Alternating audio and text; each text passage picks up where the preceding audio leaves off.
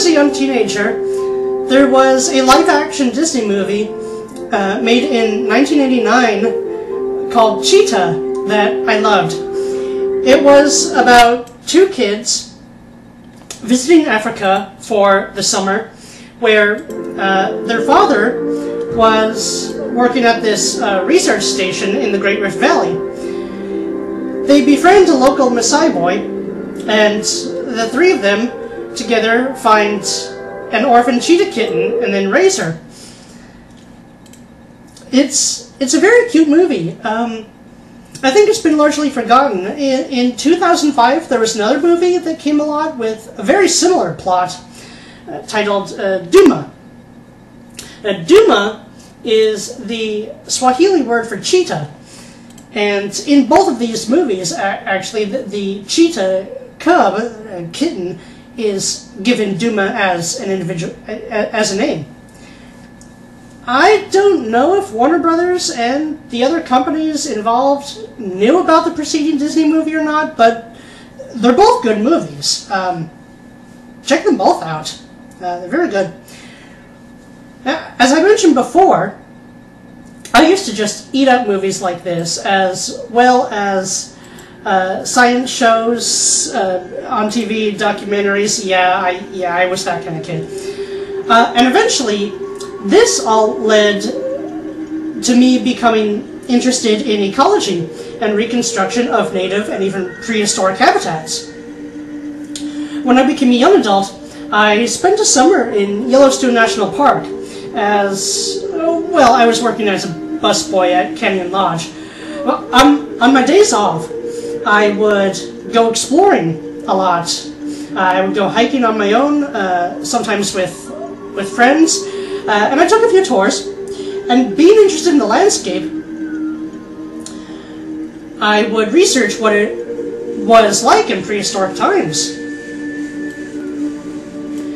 I didn't get to see many of the predators in Yellowstone. I did see one of the wolf packs from quite a distance, but I never saw a bear or cougar. And following the birds of prey, uh, birds of prey are my favorite predators, uh, some of my favorite animals. A cougar would have been my second favorite because I love cats. And there, there are very interesting stories of cryptids called phantom cats, which are these supposed sightings of big black cats, uh, panther-like, wandering around the forests and plains of Europe and North America, where which well, North America has cougars in a few isolated places now, but um, where big cats really don't have territory these days. Um, but these black cats are killing livestock and pets, and these stories have a wide range of potential validity from, you know, what people might actually be seeing are just really small cats from a great distance. Um, um, but uh, but there are some cases where um, big cats have, have, escaped from private collections. Um, there was one on the East Coast some years ago where a mountain lion did kill a, a pit bull in its backyard. Uh, now, of course, big cats used to have territories all over these continents, but in the last few hundred years have been widely extirpated. Um, extirpated is means extinct in a particular area, in a particular region. Um, so they've been wiped from all but a very few small patches of wilderness. Europe did once have wild lions, and uh, in North America, mountain lions once had a vast range, as did jaguars in the southern states.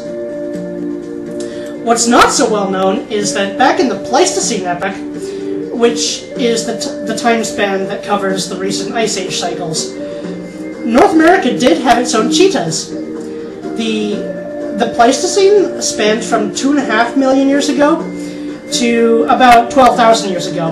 And in this time, what is now the Great Plains grassland of North America were largely semi-desert and short grass habitat, very suited to a running pursuit predator.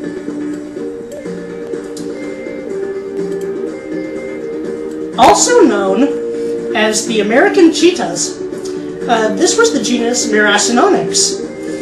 It consisted of two species, identified from fossils so far, Trumani, which was much like the African cheetah, and Inexpectatus, which was more like a cougar in build.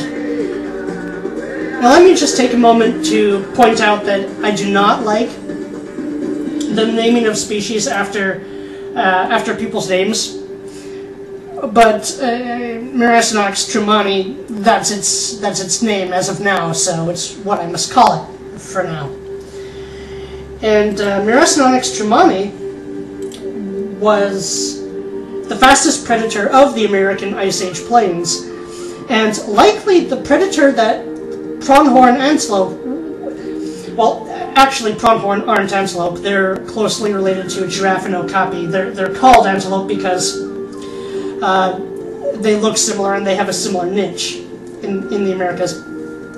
Uh, but they evolved their great speed, speed to be able to evade uh, Uh, none of the living North American predators that exist today are swift enough for the pronghorn to have to run as fast as they can.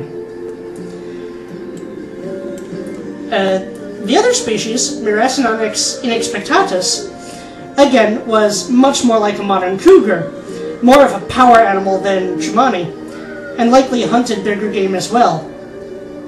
Now, the African cheetah's closest living relatives are, uh, well, th there are two the cougar, or mountain lion, or catamount among the many names that that cat has, which, despite being larger than the leopard on average, is not a big cat. It's, it is not a member of the Panthera clade and cannot roar. It's closely related to the smaller cats. Nevertheless, in a fight between a cougar and a leopard, I usually favor the cougar. The other is the jaguarundi, a much smaller cat native to Central and South America. It has been estimated that the cheetah lineage, uh, based on, I believe, fossil evidence and uh, DNA evidence, maybe mitochondrial DNA, uh, cheetahs diverged from the cougar and jaguarundi around six and a half million years ago. Cheetahs originally evolved in North America and later spread to Asia and Africa. Uh, Africa still has cheetah populations, although they're quite threatened now for a number of reasons. Uh, Asia had modern cheetahs until very recently. Miracinonyx seems to have either been a branch lineage that emerged from the divergence between cougars and cheetahs, or of the cougar line that evolved to become more cheetah-like. It seems possible then that if um, that if people wished to reconstruct the American plains to uh, resemble what they were during the Pleistocene, African cheetahs could be introduced as a replacement for Miracinonyx. I think it's more likely to do that than to re-expand the native cougar populations, also considering that cheetahs are considerably less dangerous to humans than cougars. Uh, cheetahs are the gentlest of the large-sized cats uh, by far. Um,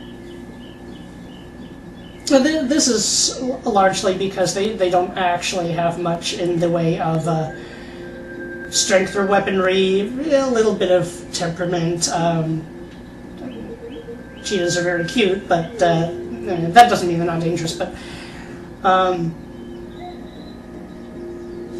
but, but anyway, um, cheetahs would be able to survive rather well in the North American winters. Uh, they do in zoos, they do in uh, parks, uh, just so long as they're well fed.